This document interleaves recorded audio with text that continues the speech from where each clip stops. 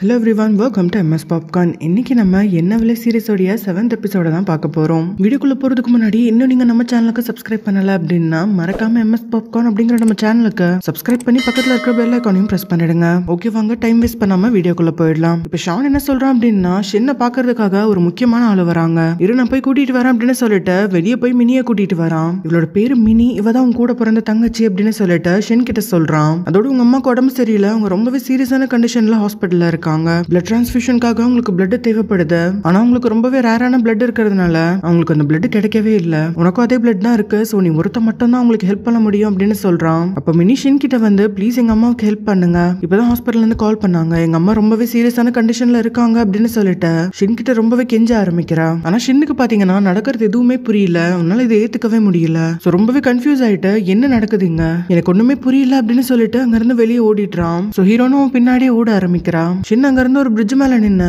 என்ன நடக்குது அப்படின்னு மறுபடியும் யோசிக்க ஆரம்பிக்கிறான். அதே சமயத்துல இங்க ஷான் வந்துட்டு கீ கிட்ட என்னைக்கா இருந்தாலும் இந்த உண்மை அவனுக்கு தெரியதானே போகுது? இப்போ தெரிய போறது இப்போ தெரியட்டுமே தான் இப்போ சொன்னேன். ஏன் மினியோட அம்மாவுக்கு இப்போ அர்ஜென்ட்டா பிளட் தேவைப்படுது அப்படின்னு சொல்றான். இதை கேட்கிற கீ இருந்துட்டு அதுக்கு நான் அதை இப்படியா சொல்லுவேன்? இது கேட்கிற ஷின் எவ்வளவு கஷ்டப்படுவான்னு உனக்கு தெரியாதா? உன்னோட ஃபீலிங்ஸை கொஞ்சமாவது கன்சிடர் பண்ணிருக்கலாம்ல அப்படின்னு கேட்குறான் அதுக்கு ஷான் என்ன சொல்றான் அப்படின்னா உனக்கு எப்பவுமே அவன் தான் முக்கியம்ல. அவனோட உண்மையான அண்ணன் கூட கிடையாது. எதுக்காக நான் இதெல்லாம் பொறுத்துக்கணும் அப்படின்னு சொல்லிட்டு ஒருவேளை கடைசி வரைக்கும் இதை மறைச்சே வச்சிருக்கலாம்னு பிளான் பண்ணியா என்ன அப்படின்னு சொல்லிட்டு ரொம்பவே கோவமா கத்திட்டு அங்க இருந்து போயிடுறான். அன்னைக்கு நைட் ஷான் வந்துட்டு வீடியோ கேம் பிளே பண்ணிட்டு இருக்கான். அப்போ ஹீரோயினை பார்த்துட்டு? ஷின் இன்னுமே வீட்டுக்கு வரல. உனக்கு கொஞ்சம் கூட அக்கறையே இல்லையா அப்படின்னு சொல்லிட்டு அவன் கிட்ட போய் பேச ஆரம்பிக்கிறா. அதுக்கு ஷான் என்ன சொல்றான் அப்படின்னா நான் இது கவலை பண்ணும் அவனுக்கு வேணும்னா அவனே வருவான் அப்படின்னு சொல்றான். இதை கேட்டதும் ஹீரோயினுக்கு ரொம்பவே கோவம் வருது. இந்த மாதிரி டைம்ல அவனை எல்லாருமே சமாதானப்படுத்தணும் தான் நினைப்பாங்க.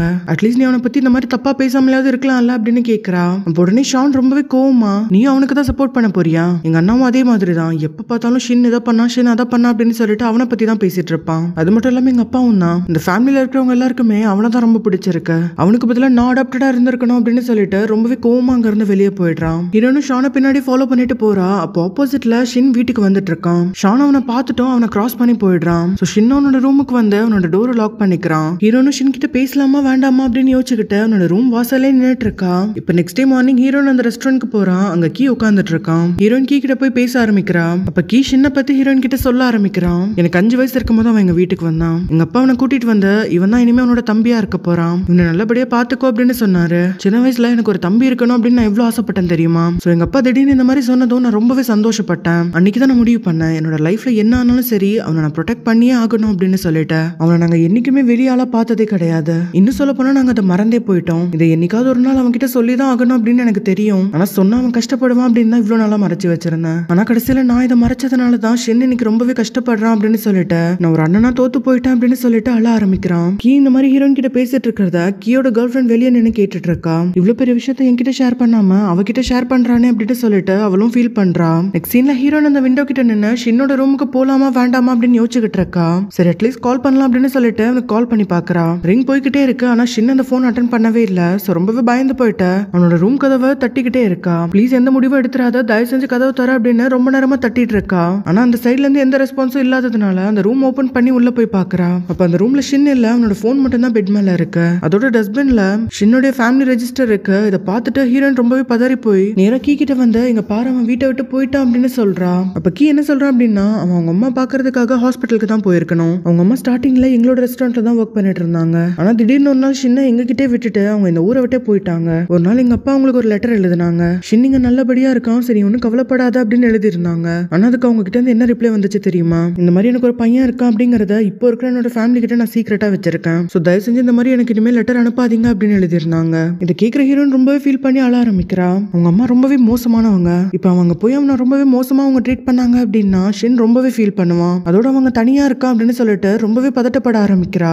அவன் இந்த மாதிரி கஷ்டப்படும் போது கண்டிப்பா அவன் கூட நான் இருந்தே ஆகணும் அப்படின்னு சொல்லிட்டு அங்க இருந்து கிளம்புறா. உடனே கீ அவளோட கையை பிடிச்சு நானும் வரேன் அப்படின்னு சொல்றான். இப்போ அவங்க ரெண்டு பேருமே சின்ன பாக்குறதுக்காக கார்ல போயிட்டு இருக்காங்க. அப்படி போகும்போது ஹீரோயின் வந்துட்டு சின்ன பத்தியே நினைச்சிட்டு ரொம்பவே பதட்டமா இருக்கா? இதை கீயும் நோட் பண்றான். இப்போ அவங்க ரெண்டு பேருமே அங்க வந்து இறங்கினதுக்கு அப்புறமா கீயோட கேர்ள் ஃபிரெண்ட் அவனுக்கு கால் பண்ணி ஷான் ரொம்பவே கோவமா வீட்டை விட்டு வெளியே போயிட்டான். ஆனா அவன் எங்க இருக்கான்னு நான் கண்டுபிடிச்சிட்டேன். வந்து அவனை பாரு அப்படின்னு சொல்றா. சோ கீ ரொம்பவே கன்ஃபியூஸ் ஆயிட்டா இப்போ யாரை போய் பாக்குறது அப்படின்னு யோசிக்க ஆரம்பிக்கிறான். இப்போ ஹீரோயின் என்ன சொல்றா அப்படின்னா நான் போய் சின்ன பாக்குறேன். நான் இதை பாத்துக்கிறேன் நீ கவலைப்படாத. நீ போய் ஷானை பாரு அப்படின்னு சொல்லிட்டு சின்ன பாக்குறதுக்காக அவ கிளம்பிடுறா. நெக்ஸ்ட் சீன்ல சின்ன காமிக்கிறாங்க. ஷின் வந்துட்டு அவங்க அம்மா பாக்குறதுக்காக அந்த ஹாஸ்பிட்டலுக்கு போறான். ரொம்பவே தயங்கிட்டு அவங்க அம்மா போய் பாக்குறான். சின்ன பார்த்து தான் அவங்க அம்மா இருந்துட்டு யாரு நீ? அப்படின்னு கேக்குறாங்க. இப்ப கரெக்டா மினி அந்த இடத்துக்கு வந்துடுறா. சோ அவங்க அம்மா இருந்துட்டு நீ மினியோட ஃப்ரெண்டா அப்படின்னு கேக்குறாங்க. அதுக்கு ஷின்னும் ஆமா அப்படின்னு சொல்றான். இது கேக்குற மினி ரொம்பவே ஷாக் ஆயிடுறா. சரி உண்மை சொல்லலாம் அப்படின்னு ட்ரை பண்ணும்போது அவங்க அம்மா என்ன சொல்றாங்க அப்படின்னா இப்போதான் எனக்கு நிம்மதியா இருக்கு. ஒருவேளை எனக்கு ஏதாவது ஆயிடுச்சு அப்படின்னாலும் என் பொண்ணுக்கு இந்த மாதிரி ஒரு பாய் ஃப்ரெண்ட் இருக்கான் அப்படிங்கறதுனால நான் கொஞ்சம் நிம்மதியா ஃபீல் பண்றேன் அப்படின்னு சொல்றாங்க. அப்ப மினி முன்னாடி வந்து அப்படியெல்லாம் எதுவுமே கிடையாது. அவன் யாருன்னு தெரியுமா? அப்படின்னு சொல்ல வரா. ஆனா அவங்க அம்மா என்ன சொல்றாங்க அப்படின்னா மினி என்னோட ஒரே பொண்ணு. ஷை டைப் அப்படிங்கறதுனால அவ யாரையுமே டேட் பண்ணதில்லை அப்படின்னு சொல்றாங்க.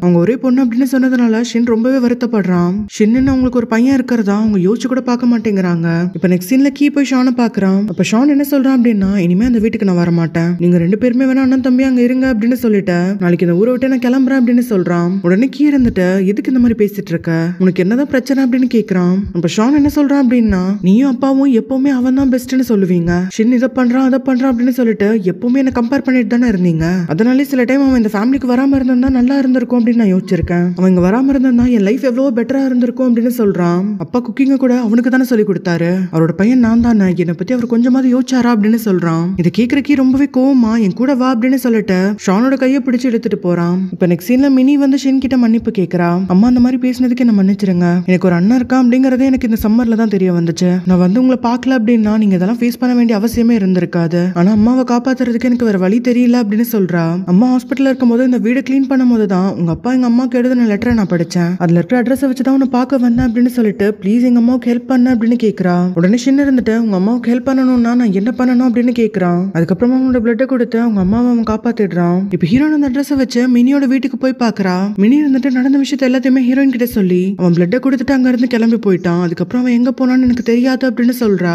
ஷின் எங்க போயிருப்பான் அப்படின்னு ஹீரோயினும் யோசிக்க ஆரம்பிக்கிறான். அதே சமயத்துல எங்க கீ வந்துட்டு ஷானை ரெஸ்டாரண்ட்க்கு கூட்டிட்டு வந்த. இவ்வளவு பெரிய ரெஸ்டாரண்ட்க்கு ஒரே ஒருத்தன் மட்டும் தான் ஷெஃபா இருக்கான். ஷின் எதுக்காக தனியால கஷ்டப்படணும் நீயே சொல்லு. அது என்னைக்காவது யோசிச்சு பார்த்திருக்கியா அப்படின்னு கேக்குறான். அதுக்கு ஷான் என்ன சொல்றான் அப்படின்னா அவன் தான் பெரிய ஷெஃப் ஆச்சே சோ அவனால இதை தனியா சமாளிக்க முடியும்னு நினைச்சிருப்பான். அவன் அப்படிப்பட்டவன் தானே அப்படின்னு சொல்றான். உடனே கீ ரொம்பவே கோவமா அப்பா இறந்ததுக்கு அப்புறமா இங்க ஒரு ஷெஃபை வந்துட்டு அப்பாயிண்ட் பண்ணலாம் அப்படின்னு நான் பார்த்தேன். அப்ப ஷின் என்ன சொன்னா தெரியுமா? என் தம்பியை தவிர வேற யார் கூடயும் நான் ஒர்க் பண்ண மாட்டேன். இந்த ரெஸ்டாரண்ட்ல எனக்கு அப்புறமா அவன் தான் ஒர்க் பண்ணணும் அப்படின்னு சொன்னான். நீ அவன் கூட சேர்ந்து சமைக்க வருவ அப்படின்னு சொல்லிட்டு உனக்காக அவன் வெயிட் பண்ணான். இதை படிச்சு பாரு அப்படின்னு சொல்லிட்டு அவன் கையில ஒரு நோட்டை கொடுக்குறான். இங்க ஷின் பாத்தீங்கன்னா பீச் சைடில் ஒரு பெஞ்ச் மேலே படுத்துட்டு இருக்கான் அப்போ யாரோ வந்து அவனோட ஃபேஸை டச் பண்ணுறாங்க இதனால ஷின் ரொம்பவே பயந்துட்டு திரும்பி பார்க்குறான். பார்த்தா நம்ம ஹீரோயின் தான் அங்கே உட்காந்துட்டு இருக்கா உனக்கு பீச்னா அவ்வளோ பிடிக்குமா? இங்கே படுத்து தூங்கிட்ட அப்படின்னு கேட்குறா நீங்க என்ன பண்ற அப்படின்னு ஷின் கேட்குறான் அப்போ ஹீரோயின் அவனோட ஃபோனை அவன் கிட்ட கொடுத்துட்டு எங்க போனாலும் ஃபோன் எடுத்துட்டு போக மாட்டியா? இவ்வளோ வாட்டி கால் பண்றது? அப்படின்னு சொல்றா. நான் இப்பதான் மினியை மீட் பண்ணிட்டு வரேன். நீ அவங்க அம்மாக்கு ஹெல்ப் பண்ணியாமே அப்படின்னு கேட்குறா அதுக்கு ஷின் என்ன சொல்றான் அப்படின்னா ஒருத்தவங்க கஷ்டத்துல இருக்கும்போது அவங்களுக்கு ஹெல்ப் பண்றது நார்மலான விஷயம் தானே.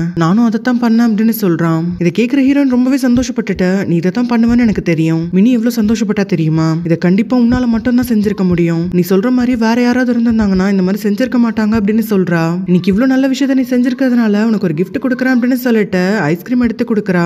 இப்ப ஷின்னு அதை வாங்கி சாப்பிட ஆரம்பிக்கிறான். நான் அந்த ஹாஸ்பிட்டலுக்கு போய் அவங்களை பார்க்கும்போது எதுவுமே ஃபீல் ஆகல. அன்னைக்கு வீட்டுல என்ன அடாப்ட் பண்ணாங்க அப்படின்னு சொன்னான் இல்லையா? இன்னி வரைக்கும் அது உண்மைன்னு என்னால நம்பவே முடியல. அம்மா அப்பா அண்ணன்னு சொல்லிட்டு இவங்க மூணு பேருமே என்ன நல்லா ஏமாத்திட்டாங்க. நான் ஒரு அடாப்டட் அப்படின்னு நான் என்னைக்குமே ஃபீல் பண்ணது கிடையாது. நார்மலா ஒருத்தவங்க அடாப்ட் பண்ணாங்க அப்படின்னா ஏதாவது ஒரு பாயிண்ட்லயாவது அவங்களுக்கு தெரிய வச்சிருப்பாங்க இல்லையா? ஆனா அவங்க மூணு பேருமே அந்த ஃபேமிலியில என்னதான் நல்லா பாத்துக்கிட்டாங்க. அவங்க மூணு பேருமே என்கிட்ட போய் சொல்லிட்டாங்க அப்படின்னு சொல்றான். இதை கேக்குற ஹீரோயின் சிரிச்சுக்கிட்டே இந்த உலகத்திலே அழகான போய் அதுதான் அப்படின்னு சொல்றா. அதுக்கு ஹீரோவும் சிரிச்சுட்டு ஆமா அப்படின்னு சொல்றான். அதோட ஷின் என்ன சொல்றான் அப்படின்னா இப்ப உண்மை தெரிஞ்சிட்டதுனால எங்க அப்பாவுக்கு நான் பண்ண சத்தியத்தை என்னால காப்பாத்த முடியல அப்படின்னு சொல்றான். இங்க கீ இருந்துட்டு அந்த சத்தியத்தை பத்தி ஷான் கிட்ட சொல்லிட்டு இருக்கான். கீ என்ன சொல்றான் அப்படின்னா நீ வந்து கிச்சன்ல ஒர்க் பண்ணுவ அப்படின்னு சொல்லிட்ட அப்பா நிறைய கனவுகளோட இருந்தாரு. ஆனா திடீர்னு அவர் மயங்கி கீழே விழுந்துட்டாரு. அவருக்கு உடம்பு சரியில்லைன்னு தெரிஞ்சதும் அவருக்கு தெரிஞ்ச எல்லா விஷயத்தையுமே ஷின்னுக்கு சொல்லி கொடுத்தாரு. அதோட ஷின் கிட்ட இது எல்லாத்தையுமே நீ ஷானுக்கு சொல்லி கொடுக்கணும் அப்படின்னு சொல்லிட்டு அவர் இறக்கிறதுக்கு முன்னாடி சத்தியம் வாங்கிக்கிட்டாரு. அவன் கத்துக்கிட்டது எல்லாத்தையுமே உனக்கு சொல்லி கொடுக்கணும் அப்படின்னு ஷின் ரொம்பவே ஆர்வமா வெயிட் பண்ணிட்டு இருந்தான். ஆனா நீ தான் அவனை தப்பா புரிஞ்சுக்கிட்ட அப்படின்னு கீ சொல்றான்.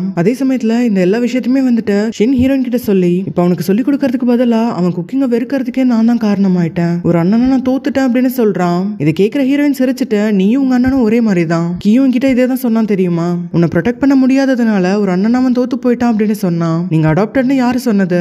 நீங்க எல்லாரும் ஒரே மாதிரி தான் இருக்கீங்க அப்படின்னு சொல்றா. இங்க கீ இருந்துட்டு அந்த புக்கு கொடுத்து படிக்க சொன்னா அதை படிச்சு பாரு அப்படின்னு சொல்லிட்டு அங்க இருந்து கிளம்பிடுறான். ஷான் அந்த புக்கை ஓபன் பண்ணி படிக்க ஆரம்பிக்கிறான். அந்த புக்ல எந்த டிஷ்ஷை எப்படி சமைக்கணும் அப்படின்னு சொல்லிட்டு ரொம்பவே டீட்டெயில்டா எழுதி வச்சிருக்கான். அதோட சின்ன இருந்துட்டு என் தம்பிக்கு இந்த விஷயம் இவ்வளவு காம்ப்ளிகேட்டடா இருந்தா புரியாது அப்படின்னு சொல்லிட்டு அதை எந்த அளவுக்கு ஈஸியாக்க முடியுமோ அந்த மெத்தடெல்லாம் யூஸ் பண்ணி டீட்டெயில்டா எழுதி வச்சிருக்கான். இதை பாக்குற ஷான் இருந்துட்டு அவன் எப்படியெல்லாம் சின்ன வந்துட்டு மோசமா ட்ரீட் பண்ணா அப்படின்னு நினைச்சு பாக்குறான் ஆனா அப்படி இருந்தும் கூட இவன் நம்ம மேல இவ்வளவு பாசமா இருக்கானே அப்படின்னு சொல்லிட்டு அவன் ஷின்னுக்கு செஞ்சது எல்லாத்தையுமே நினைச்சு அழ ஆரம்பிக்கிறான். இங்க ஷின்னை வந்துட்டு சமாதானப்படுத்துறதுக்காக ஹீரோயின் வா போலாம் அப்படின்னு சொல்லிட்டு நிறைய அழகான பிளேசஸ்க்கு சைக்கிள்ல கூட்டிட்டு போறா. அந்த ஊர்ல இருக்க நிறைய இடங்களுக்கு அவங்க போய் பாக்குறாங்க. லாஸ்டா ஷின்னுக்கு வந்துட்டு பீச் வியூனா ரொம்ப பிடிக்கும் அப்படிங்கறதுனால ரொம்பவே ஹைட்டா இருக்கிற ஒரு இடத்துக்கு கூட்டிட்டு போறா. அங்க போய் அவன் கூட ஒரு செல்ஃபியும் எடுத்துக்கிறா. ஷின் கூட இருக்கும்போது அவ ரொம்பவே சந்தோஷமா எல்லாத்தையுமே என்ஜாய் பண்றா. ஹீரோயின் சந்தோஷமா இருக்கிறத பார்த்துட்டு ஷின்னும் வந்து சந்தோஷப்படுறான். இப்ப ஹீரோயின் வழக்கம் போல அந்த செல்ஃபி இன்ஸ்டாகிராம்ல போஸ்ட் பண்ணிட்டு வா போலாம் அப்படின்னு சொல்றா. உடனே ஷின் இருந்துட்டு இன்னும் எங்க போகணும்? அப்படின்னு கேக்குறான். இப்ப ஃபைனலா ஒரே ஒரு இடத்துக்கு போலாம். ப்ளீஸ் என் கூட வா அப்படின்னு சொல்லிட்டு. சன்செட் பாக்குறதுக்காக ரொம்பவே அழகான ஒரு இடத்துக்கு கூட்டிட்டு போறான். இப்ப அவங்க ரெண்டு பேருமே சன்செட் பார்த்துட்டு உட்காந்துட்டு இருக்காங்க. அப்போ ஷின் ஹீரோயின் கிட்ட இன்னைக்கு எதுக்காக நீ என்ன பார்க்க வந்த? அப்படின்னு கேக்குறான். அதுக்கு ஹீரோயின் ரொம்பவே ஆக்வர்டா உன் கூட இருக்கணும் அப்படிங்கிறதுக்காக தான் அப்படின்னு சொல்றா. அதுக்கப்புறமா சமாளிக்கிறதுக்காக பின்ன போன் அங்கேயே விட்டுட்டு வந்துட்டா. போனை கொடுத்து மரியாதை அந்த போன் அட்டன் பண்ணி சொல்லலாம் தான் வந்தேன் அப்படின்னு சொல்றா. அதோட அந்த ரெஸ்டாரண்டோட சாவி எடுத்து ஒரு முக்கியமான பொருளை நீ மறந்து அங்கேயே விட்டுட்டு வந்துட்ட. அதை கொடுக்கலாம் தான் வந்தேன் அப்படின்னு சொல்லிட்டு அந்த சாவியை ஷின் கிட்ட கொடுக்கறா. ஷின் அந்த சாவியை வாங்கிட்டு சிரிக்கிறான் இப்ப ஹீரோனு சிரிச்சிட்டு சரி வா வீட்டுக்கு போலாம் அப்படின்னு சொல்றா. இப்ப சன்செட் பார்த்ததுக்கு அப்புறமா நேரா இவங்க ரெண்டு பேருமே கிளம்பி வீட்டுக்கு வராங்க.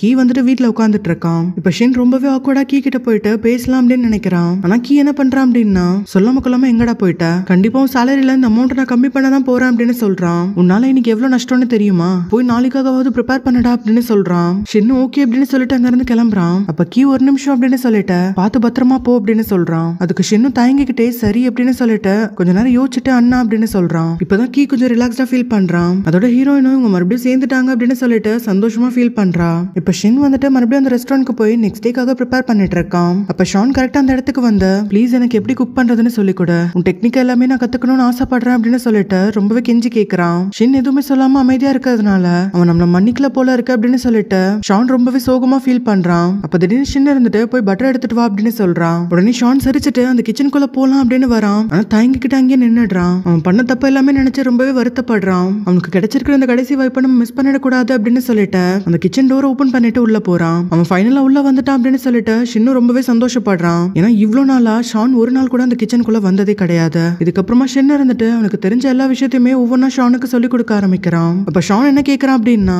உன்னோட ஃபேமஸான ஹேம்பர்கரை எனக்கு எப்படி செய்யறதுன்னு சொல்லி கொடுக்குறியா? அப்படின்னு கேக்குறான். அதுக்கு ஷின் இருந்துட்டு முடியவே முடியாது. பத்து வருஷம் கழிச்சு கேளு அப்படின்னு சொல்லிட்டு சிரிக்க ஆரம்பிக்கிறான்.